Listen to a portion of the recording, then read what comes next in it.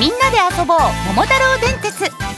桃太郎電鉄はプレイヤー自身が電鉄会社の社長さんとなり日本全国を巡るすごろくゲームです。ルールは簡単。サイコロを振り目的地を目指しながら土地土地の物件を買い集めます。最後に一番お金持ちになった人が勝ちです。まずはランダムで決定される目的地に向かって汽車で移動します。順番にサイコロを振り出た目の数だけ進みます。汽車の周りの矢印で目的地までの最短コースを教えてくれます。また全体マップで目的地や他のプレイヤーを確認することもできます。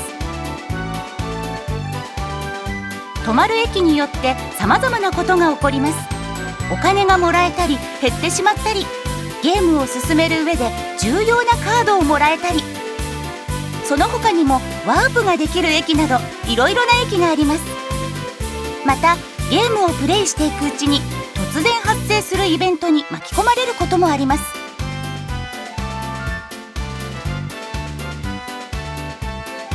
サイコロの代わりにカードを使うこともできます。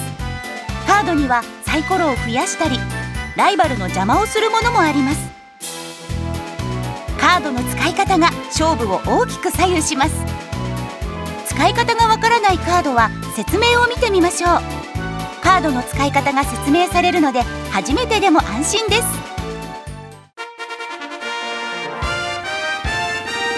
大きくなっている駅が目的地です。目的地に最初に到着すると住民の大歓迎を受けたくさんの援助金がもらえます。誰かが目的地に到着すると次の目的地が選ばれます。各プレイヤーはこの新たな目的地を目指して移動します。物件の買える駅で物件を買ってみましょう。物件を持っていると決算の時にお金がもらえます。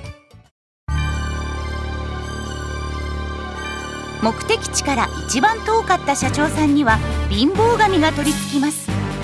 貧乏神はプレイヤーの邪魔ばかりしてくるとっても厄介者です。さらに貧乏神は変身をしてもっととんでもない邪魔をすることもあります。最初に決めた年数が終了した時に持ち金資産収益の合計が一番多かった社長さんの勝利となります。初めてでも夢中になれる。桃太郎電鉄。